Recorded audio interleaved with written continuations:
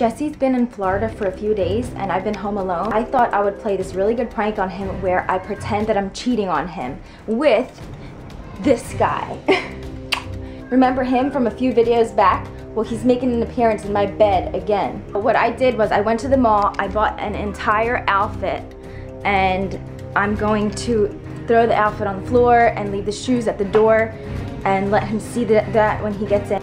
Speak of the devil, he keeps calling me.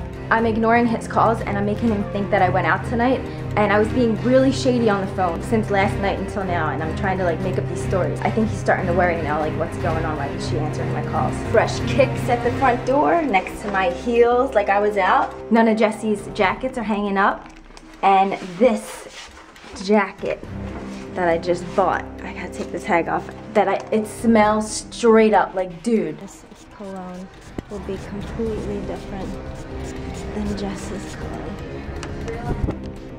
There's like so much cologne on this. The whole house smells right now. It's hilarious. So this is the crime scene.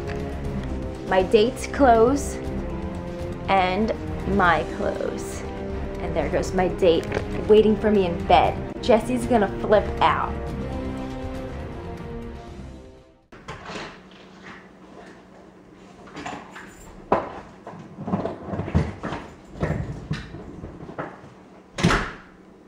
Whoa. What the f- Hey!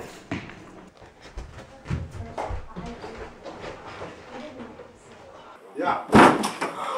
What the fuck? I'm gonna f- look your ass, bro!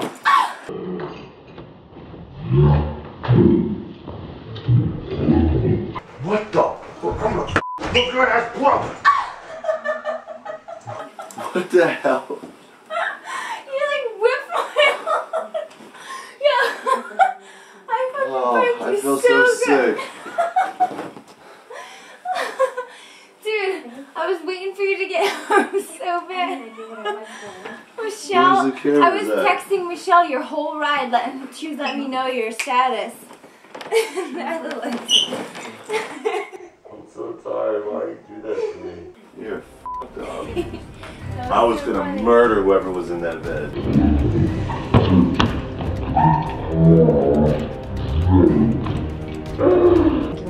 And this is what he sees. in his house. Pants on the ground, pants on the ground. Looking like a fool with your pants on the ground. Gina just pranked the hell out of me. I, I'm so hungover all day. She came all the way back from Florida.